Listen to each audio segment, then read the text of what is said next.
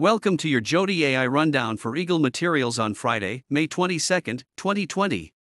California, Colorado, Illinois, Missouri, Nebraska, Nevada, Ohio, Oklahoma, Texas, and Wyoming. Our cement companies focus on the U.S. heartland and operate as an integrated network selling product primarily in California, Colorado, Illinois, Indiana, Iowa, Kentucky, Missouri, Nebraska, Nevada, Ohio, Oklahoma, and Texas.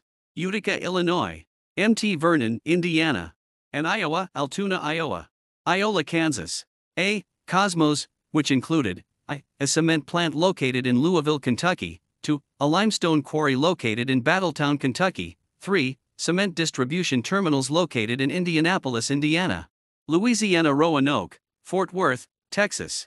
Houston Cement Company. Joint venture, Houston, Texas.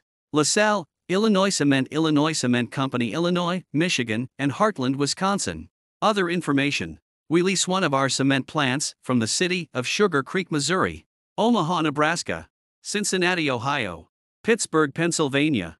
In addition, during the March and April 2020, oil prices declined to all time lows due to the decrease in demand for oil resulting from the COVID 19 pandemic, as well as an increase in supply caused by disagreements with respect to oil pricing and output between Russia and members of OPEC, particularly Saudi Arabia. In early March, Russia and Saudi Arabia ended a three year supply level agreement, which resulted in each country increasing its oil production.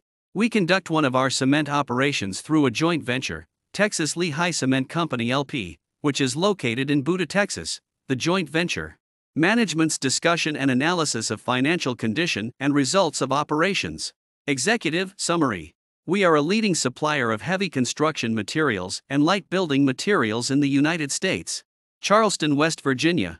Based on these forecasts, we concluded that the carrying values exceeded the undiscounted cash flows for our New Auburn, Wisconsin, and Utica, Illinois operating facilities and several distribution facilities related to these operating facilities, indicating impairment.